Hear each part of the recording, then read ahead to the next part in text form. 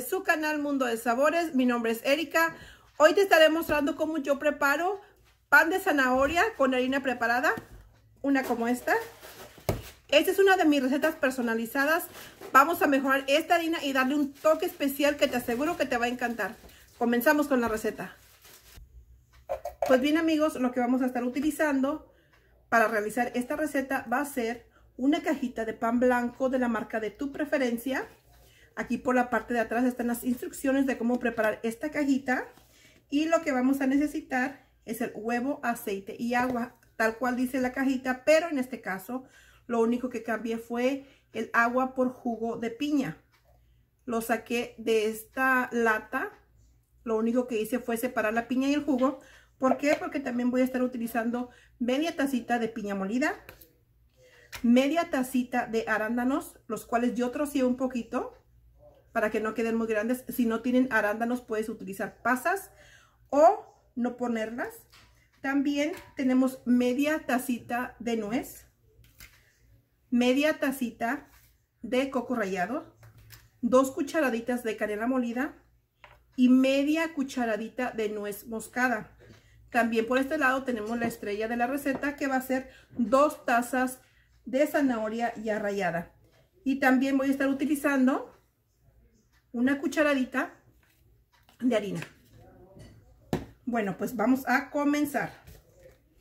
Pues bien, lo primero que voy a hacer es en un tazón, voy a poner la nuez, el coco y los arándanos.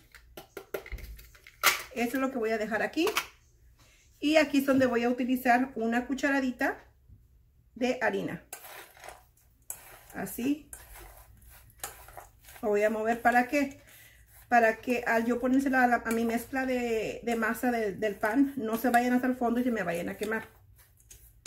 So ya, esto ya está, lo dejamos a un lado y seguimos aquí con nuestra receta del pan de zanahoria. Entonces aquí vamos a poner el huevo.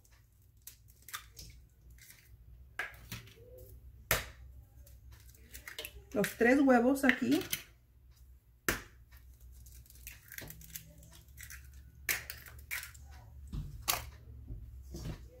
Vamos a poner el jugo de la piña. Vamos a poner el aceite. Y vamos a batir un poquito.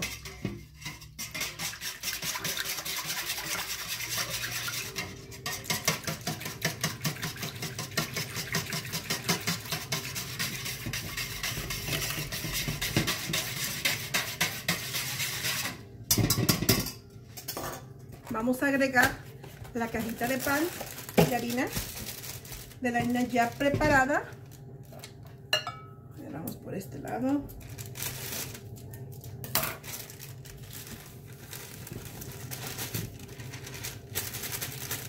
Así. Vamos a empezar a batirlo. También pueden ah, utilizar una batidora de mano si gustan una batidora eléctrica de mano o así solamente con, con un batidor de globo. Esto se mezcla rápido, por eso decidí hacerlo a mano.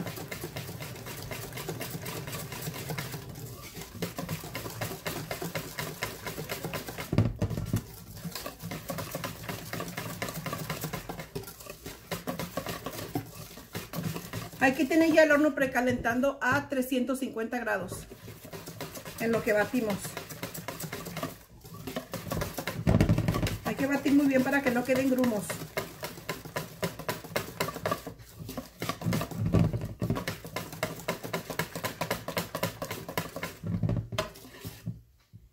Entonces aquí vamos a poner la nuez moscada y la canela.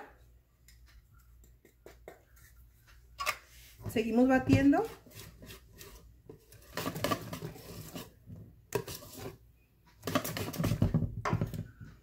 Agregamos la piña.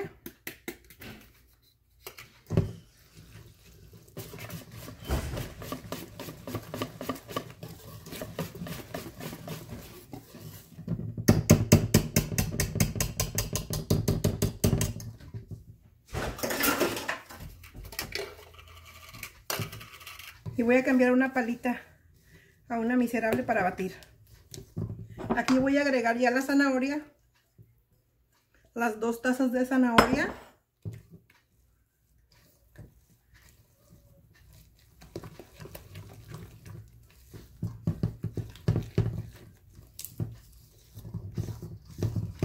Créanme que esto huele riquísimo. La nuez moscada es la que le da ese sabor riquísimo a este pan.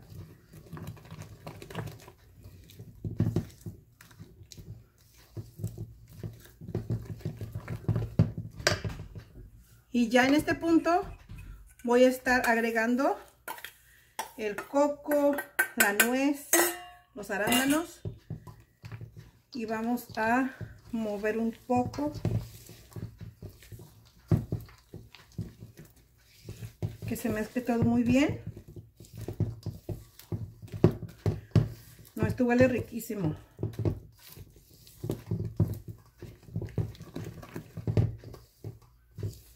Noten que no puse ninguna esencia, ¿por qué? Porque el pan de vainilla ya tiene suficiente sabor de vainilla y además con la canela y la nuez ya, ya está bien perfumado este pan, ya no necesita esencia. So, este ya está listo. Así queda.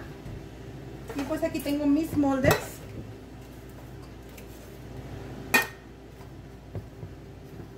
Son dos moldes de 8 pulgadas cada uno, con 2 pulgadas de altura.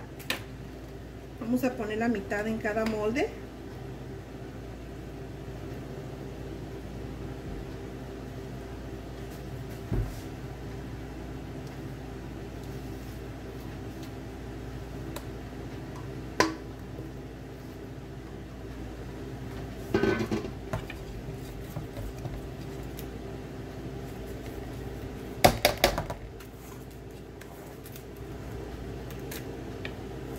Creo que este le puse un poquito de más. Ahí está.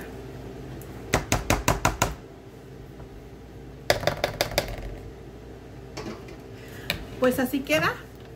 Es muy rápido de realizar este pan. Solamente teniendo todos sus ingredientes a la mano. Y pues lo voy a llevar al horno a 350 grados. Dejé el pan en el horno por aproximadamente 30 minutos ya inserté un palillo en el centro y efectivamente salió limpio. Eso quiere decir que el pan ya está listo. Está muy caliente ahorita para desmoldarlo. Voy a dejar que pase por lo menos 30 minutos para desmoldarlo. Para mostrárselos cómo quedó y poder hacer el pastel. Dejé pasar aproximadamente 30 minutos para poder desmoldar mi pan. Y quiero que vean, vean esa zanahoria, esa nuez que se le nota ahí. No, y huele riquísimo este pan. Si ustedes olieran aquí mi cocina. Pero vean esto. Vean lo suavecito que está mi pan.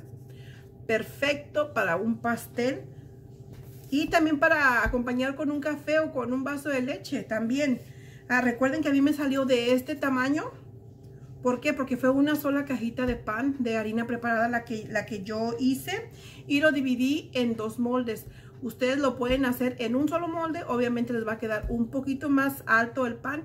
También lo pueden hacer en un molde de panque y también les quedaría muy bien este pan con un glaseado. Les quedaría riquísimo también, como ya les repito, para un café, para su vaso de leche, para lo que ustedes gusten. Este pan, les aseguro que si ustedes lo hacen, no se van a arrepentir. El sabor de la nuez moscada, de la canela, la zanahoria, el coco rallado, la o sea, piña, todo, todo se complementa en este pan y sabe riquísimo. Se van a enamorar de este pan si ustedes lo preparan. Recuerden amigos, van a venir más recetas como esta. Si les gustó esta receta, su dedito arriba me va a ayudar muchísimo. Denle like. Suscríbanse a este canal si es que aún no, no lo han hecho. Y ya saben, nos vemos en la próxima, ¿ok amigos? Bye bye.